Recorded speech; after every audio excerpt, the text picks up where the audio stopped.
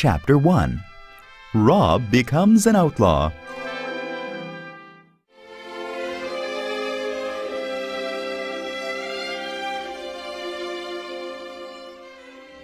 In the days of good King Harry II of England, there were certain forests in the North Country used by the king to hunt.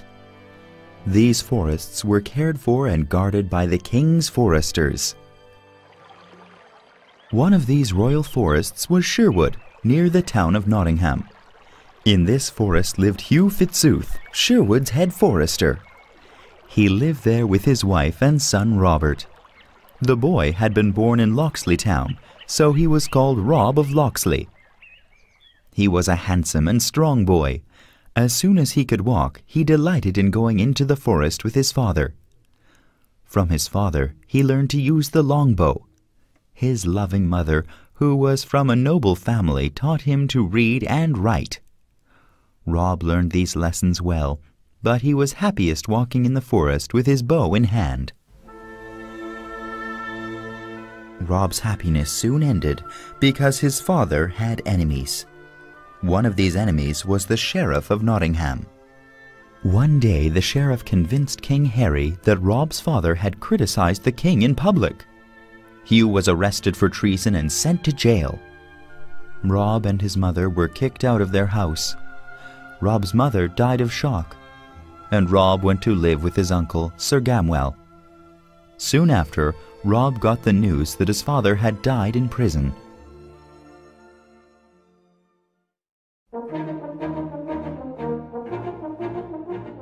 Sir Gamwell was a kind man who gladly took care of Rob. Many years later, he said, Rob, there is a chance for you to use that bow for a good purpose. There is an archery contest at a fair in Nottingham. The first prize is a golden arrow. Rob's eyes lit up. I would like a chance to compete, he said, and perhaps I could win a place as a forester, even if I don't win first prize. Now I can see that you are more suited to spend your days walking under the trees, said Sir Gamwell. Good luck to you, lad. The next day Rob set off. It was mid-morning when he came across a group of men. Immediately, he saw the man who had replaced his father as head forester. He was a good friend of the Sheriff of Nottingham. Rob decided not to say anything and kept walking. But the head forester, who did not recognize Rob, spoke up. Where are you going, boy, with your cheap bow and toy arrows? Do you think you have a chance at the fair? Rob felt a sudden rage. My bow is as good as yours, he said to the head forester. The head forester replied, Then show us some of your skill, boy. I'll bet you 20 silver coins that you cannot hit the mark I choose. Name your mark, said Rob. I accept your challenge. The head forester pointed to a group of deer far away. Quicker than a flash, Rob took the bow from his back and let an arrow fly. It pierced the heart of the leading deer. Then the head forester grew angry and yelled, Foolish boy, do you know you have killed one of the king's deer? The penalty is death. Get out of here and do not show me your face again. Rob replied angrily, Fine, for I have seen your face too often. You are the one who wrongly took my father's job. With that, Rob turned and walked away.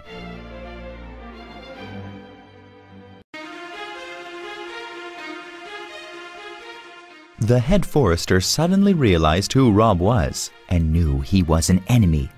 He picked up his bow and shot an arrow at Rob's back. Rob heard the twang of the bow and escaped from it. Quickly, Rob sent an arrow back. The head forester fell forward, dead as he hit the ground. In that second, Rob disappeared into the forest. For several hours Rob ran, until, tired and hungry, he came to a small house. When he was younger, he had visited the kind widow who lived in this house. So this time he boldly opened the door and entered. The old widow was happy to see him and gave him some bread. Rob told her his story, and she sighed. An evil wind is blowing through Sherwood. She said, The poor have nothing because the rich take everything. My three sons killed the king's deer to keep us from starving. They are outlaws, and now they hide in the forest. They tell me that 40 men, all skilled archers, are hiding with them. Where are they? cried Rob. I would like to join them, My boys will visit me tonight. said the old woman. Stay here and meet them if you want.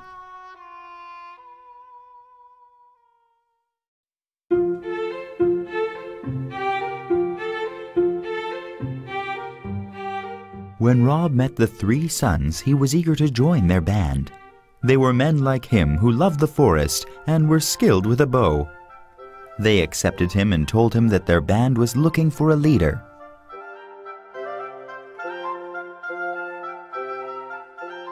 We are looking for someone who can use his head as well as his bow. Said one, All of us are wanted by the sheriff, so if one of us wins the archery contest in Nottingham, he will be our leader. What a coincidence, said Rob, standing suddenly.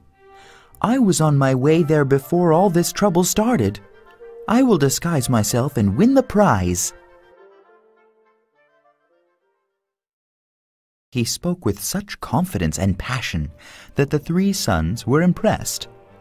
They wished him luck and told him they would serve him gladly if he was the winner. He must bring the golden arrow as proof.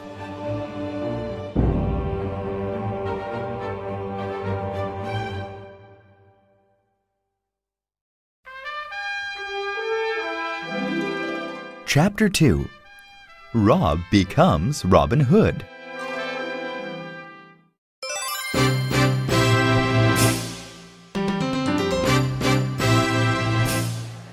The next day, a beggar entered the town of Nottingham. He wore an old cotton hood around his face.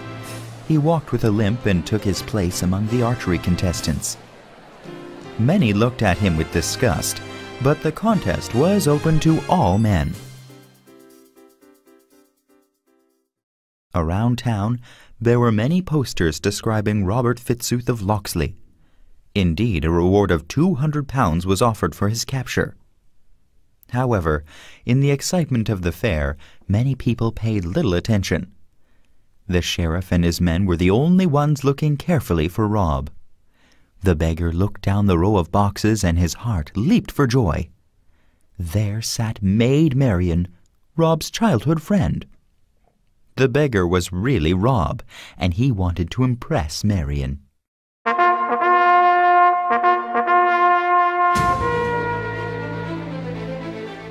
The contest was announced, and 26 archers gathered to shoot at a target 50 meters away. Only 12 archers passed the first round. Rob and another poorly dressed man were among the best shooters. Rob looked at this other man closely. He was a muscular man with a patch over one eye. Rob could see kindness in his eye. Just then, the horn blew to begin the last round. The archers took their places. Each took his turn with some hesitation because the target was far away. None of them put an arrow into the inner circle. Then it was Rob's turn. He also hesitated. His eyes moved to Maid Marian's booth. She met his look and smiled. At that moment, Rob knew she recognized him despite his disguise. He knew he would win the prize for her and gain back some of his family's honor. With new confidence, he drew back his bow and launched his arrow straight and true into the center of the target.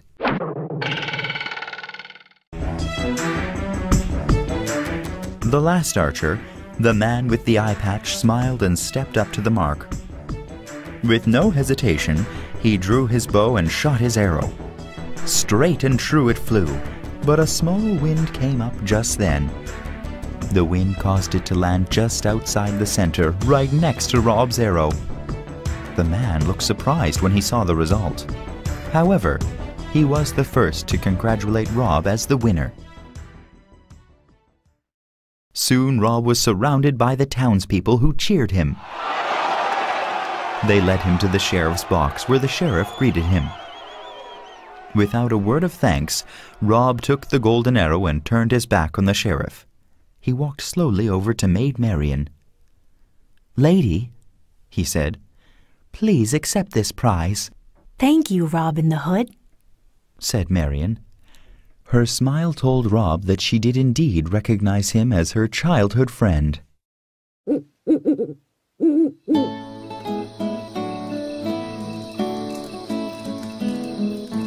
Later that evening, deep in Sherwood Forest, forty men were sitting around a fire. They were all dressed in dark green clothes, with green cloaks and hoods. They were enjoying a meal of roast deer. Suddenly, they heard a noise from someone approaching. In a second, they all rose with swords and bows at the ready. I am looking for the widow's sons, said a man as he stepped into the light of the fire. I come alone, It's Rob. cried the widow's three sons. Welcome to Sherwood Forest. Did you win the contest? Yes, I did, said Rob. But I cannot prove it. I gave the golden arrow to a fair lady. However, I will gladly join your band of merry men as a common archer. Then a muscular man stepped forward. He was the man with the patch, but now his eye patch was gone. This young man does not lie. The man said to the others. He beat me at the fair and he won the golden arrow.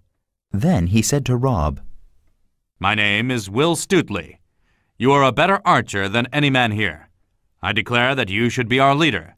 I will serve no other man but you.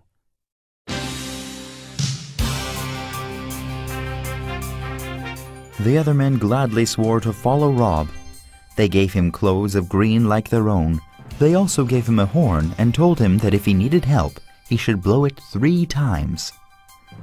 Any of them who heard it would come as quickly as they could. Will said, You shall be known as Robin Hood, for that is what the fair lady called you. Robin Hood smiled and accepted his new name. Finally, he was happy again in Sherwood Forest.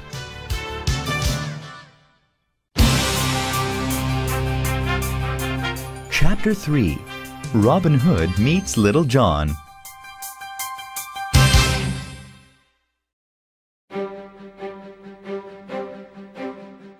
Robin Hood and his group of merry men spent the summer hunting in Sherwood Forest.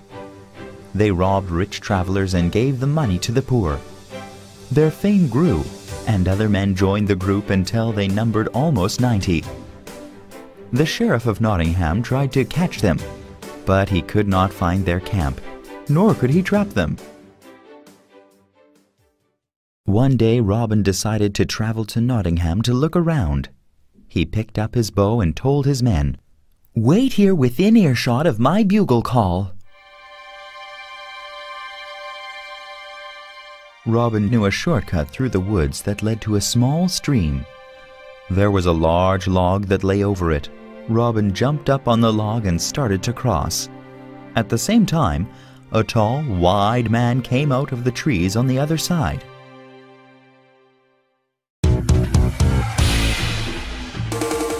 Robin was used to giving orders, so he quickly said, Make way, stranger. I will cross first. The other man was easily taller than Robin by a full head.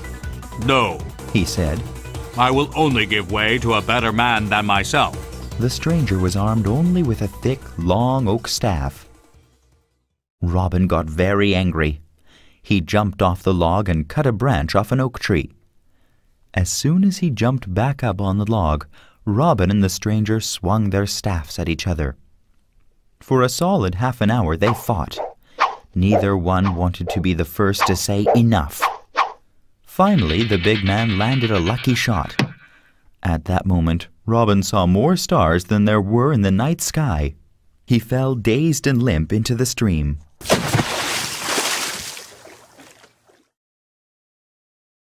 The stranger laughed and offered the end of his staff to Robin. Here, pull yourself out with this. He said, Robin grabbed the staff, and the stranger pulled him over to the bank of the stream. He rubbed his sore head and then blew three long, loud notes. Then twenty of Robin's merry men came out from the trees. Will Stutely said, Well, now, what is this? Robin, you are soaking wet.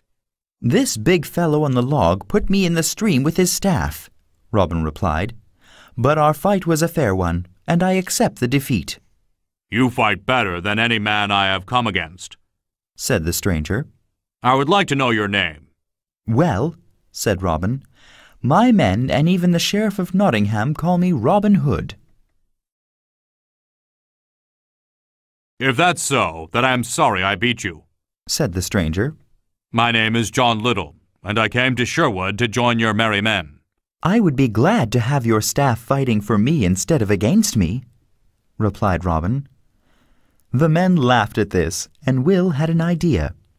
He loved a good joke, so he said, You must take a new name to join us. I suggest we call you Little John. Then the men laughed louder, and so did Little John. He was pleased to join the merry men. He proved himself to be such a strong and loyal fighter that he became Robin's second in command.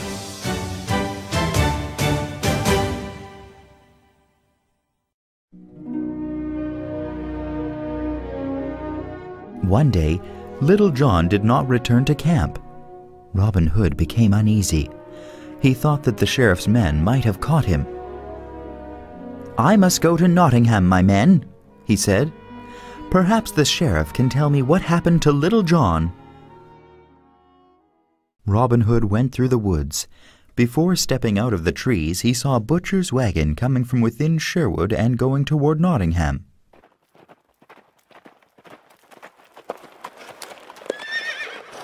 Good morning, friend, called out Robin Hood. I offer you a trade. How about if I give you ten gold pieces for your horse, cart, and all your meat? Today, I want to be a butcher and sell meat in Nottingham. That would be a fair price, said the butcher. In fact, ten gold pieces is too much. Then give me your clothes too, said Robin.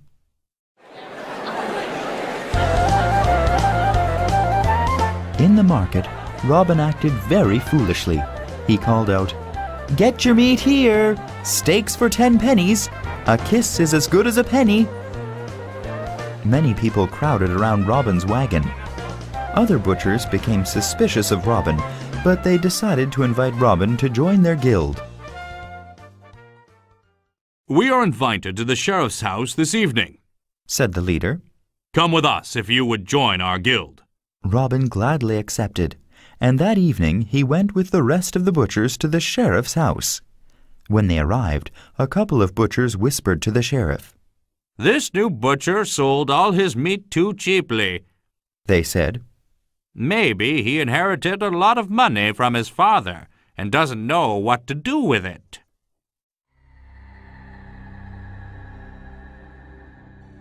The sheriff wondered if he could somehow make money from the foolish butcher, so he invited Robin to sit next to him. Robin was in a lively mood. He said to the sheriff, I have 500 horned animals, but I cannot find someone to buy them. The sheriff thought Robin meant cows when he said horned animals. He thought to himself that maybe he could buy this foolish butcher's cows for a very small price. Perhaps I might be interested in buying a few cows from you, said the sheriff. You could come by tomorrow and have a look at them, said Robin. I cannot bring them to town because they are scattered here and there, but they are only a half day's ride through the southern part of Sherwood. I would be most happy to come and look at your animals, said the sheriff greedily.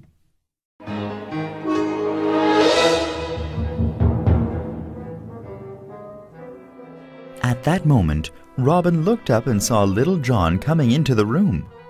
He was wearing the uniform of one of the sheriff's men. For a second, Robin wondered if Little John was a traitor. Then he remembered that Little John was the most loyal man he had ever met. Little John also saw Robin. He did not speak but moved closer to Robin's chair. When the others were singing loudly, he leaned over and said, Meet me in the kitchen at midnight. Robin nodded but did not speak. He pretended to sing along with the others. Soon the party ended, with many drunken butchers and the sheriff's men passed out in chairs and on the floor. The house was quiet, and no one saw Robin going to the kitchen at midnight. Before we continue this story, let's now learn how Little John became one of the sheriff's men.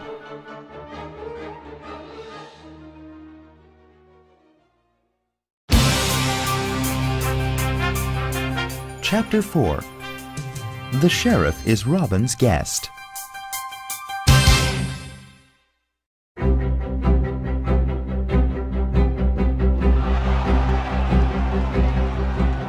When Little John went missing, he was actually in Nottingham disguised as a beggar.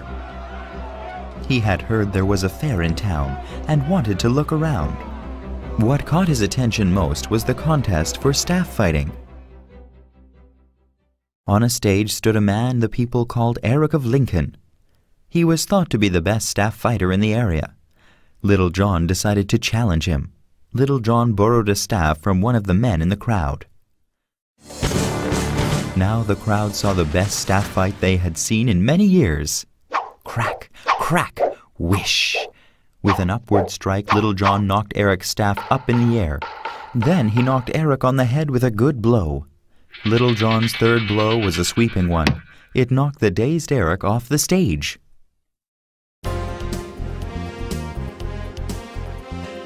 Little John climbed down from the stage. Many people crowded around him, patting him on the back. The sheriff came up to Little John and said, I saw you beat Eric of Lincoln. That I did, said Little John. I need someone who can fight like you. Will you work for me? I will give you three new suits of clothes, food, and a room, said the sheriff. Three suits? said Little John. Then I will gladly enter your service. My name is Reynold Greenleaf.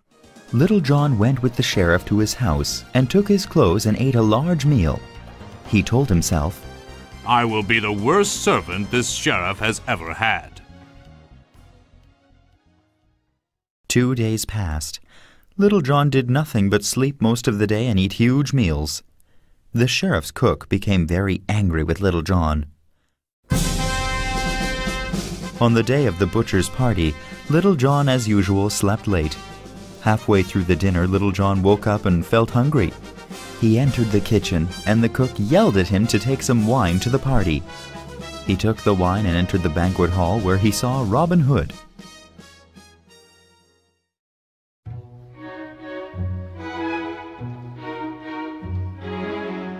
After the feast was over, Little John went back to the kitchen and then helped himself to a generous portion of meat, wine, and cheese.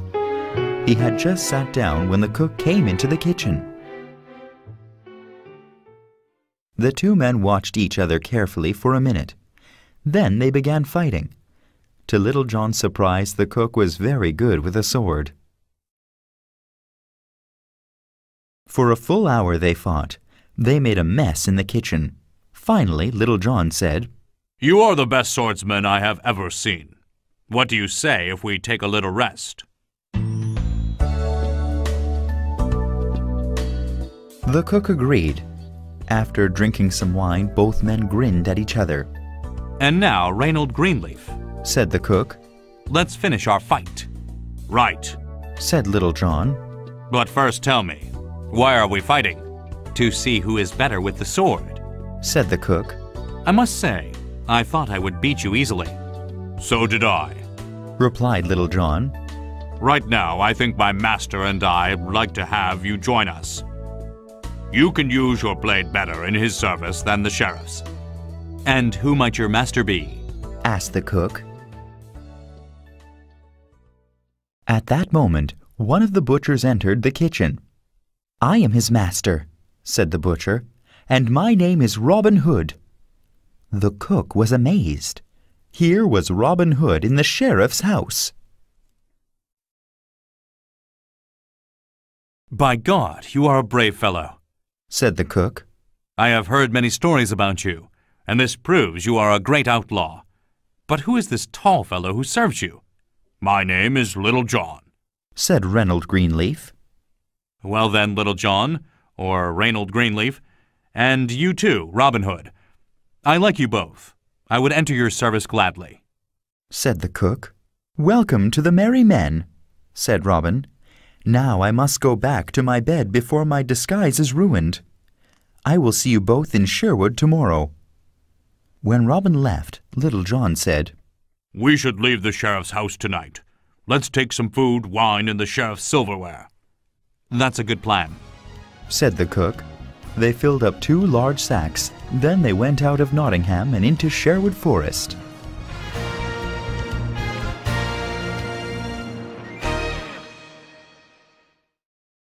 The next morning, the sheriff spoke to Robin over breakfast. I am eager to see your cows. Right, said Robin. Let's be on our way. Robin and the sheriff left Nottingham. Robin was driving his butcher's wagon, and the sheriff was riding a horse. Eight of the sheriff's men were riding behind them. After riding for a couple of hours, they came to a wide meadow in the woods. On this meadow were 500 of the king's deer. Robin pulled his cart to a stop. This is my herd, said Robin. Are they not fat and beautiful? The sheriff was confused. Now, fellow, he said, you had better explain yourself. In answer, Robin pulled his horn out from under his cloak. He blew three sharp blasts. In a second, forty merry men stepped from the trees. One of the merry men came running up and grabbed the bridle of the sheriff's horse. Hello, my former master, said Little John. Reynold Greenleaf, said the sheriff. What are you doing here? I've come to invite you to dinner tonight, said Little John. My master Robin Hood would like you to join him. Little John looked at the butcher and smiled. It's true, said Robin. I am Robin Hood. You thought you would trick a foolish butcher out of his cows? Now you're the one who has been tricked. Tell your men to go back to their homes, or they will be shot full of arrows before they can draw their swords.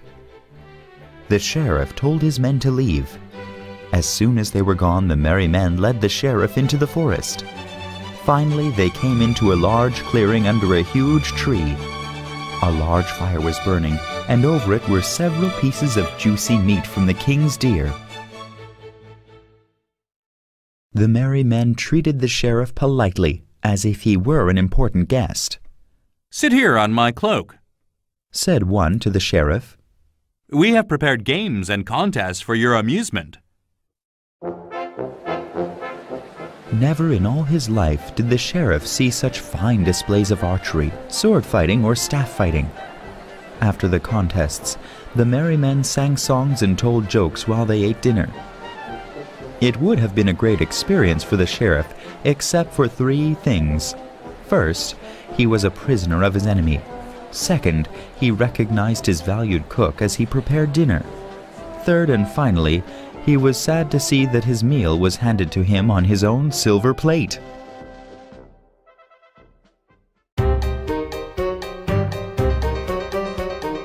Sadly, the sheriff said to Robin, No doubt you plan to kill me. Why do you torture me like this? Fear not, sheriff, said Robin.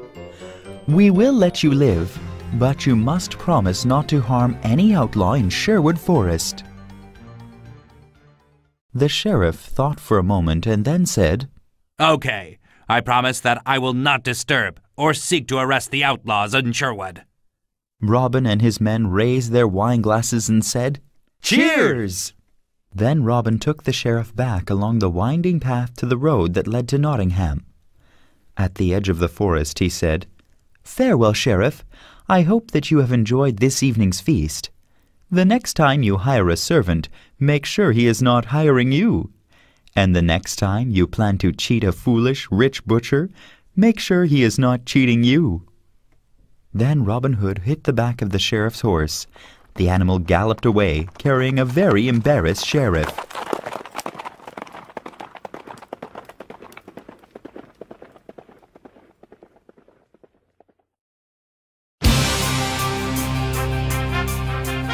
Chapter 5 Robin Hood Marries Marian.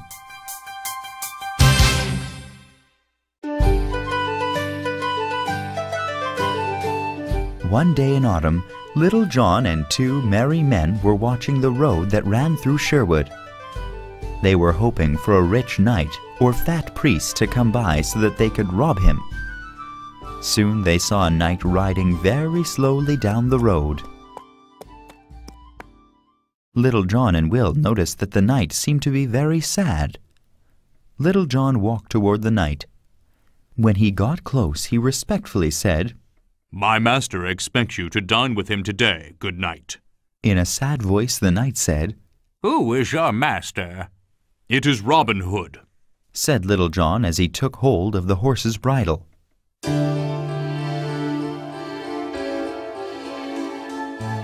Seeing this, the knight shrugged carelessly. It does not matter, he said. Lead me to your master. When they arrived at their camp, Robin Hood jumped up. Welcome, Sir Knight, he said. We were just about to sit down for supper. Please join us. The knight slowly got off his horse. He took off his armor and helmet. As he did so, Robin suddenly recognized him. Sir Richard of Ley, is that you? asked Robin. He recognized the father of his childhood friend, Maid Marian. Yes, that is my name, said the knight. How do you know me? Sir, I am Rob of Locksley, said Robin. As a boy, my cousin and I played with your daughter Marian. Oh, yes, replied the knight. You have grown. I would have never recognized you. It seems your fortune has grown, while mine has disappeared. What troubles you, Sir Richard? said Robin. Please tell us your story over a good meal and wine.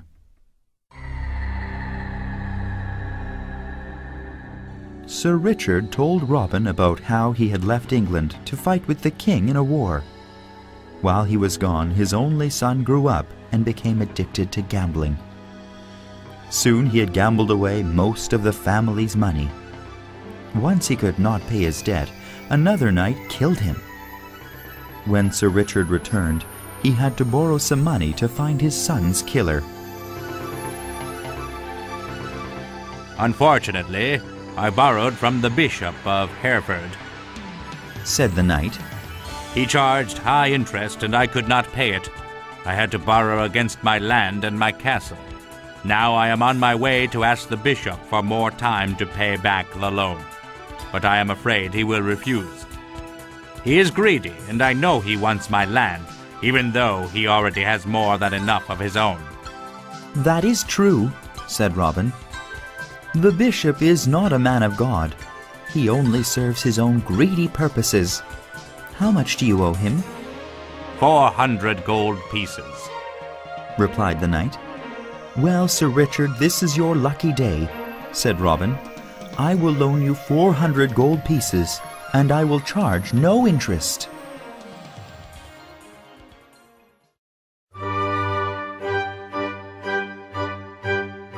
Sir Richard looked as if Robin had just saved his life. How can you be so generous?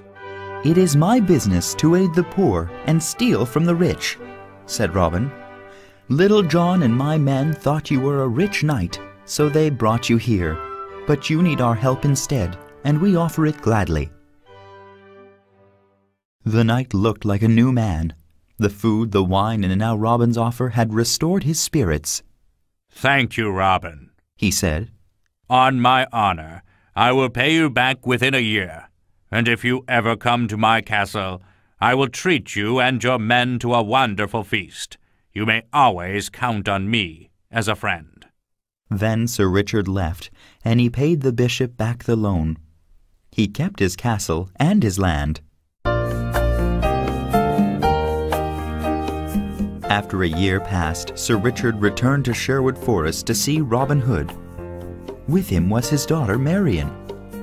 Sir Richard was true to his word, and he gave Robin Hood back all the gold he had borrowed.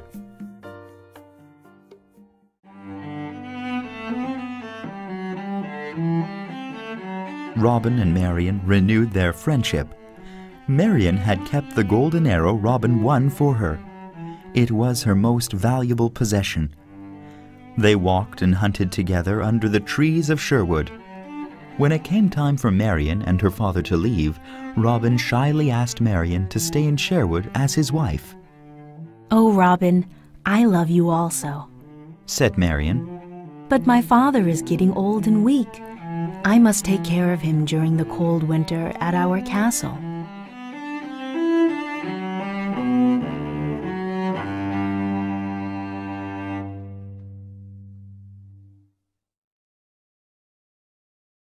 You and your father can spend the winters in the castle, and the warmer months with me and my merry men in Sherwood, Robin said.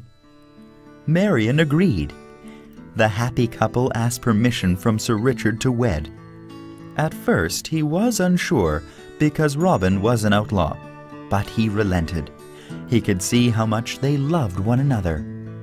At last, Robin felt as if much of his former life was restored he had revenge on his enemy, the Sheriff of Nottingham.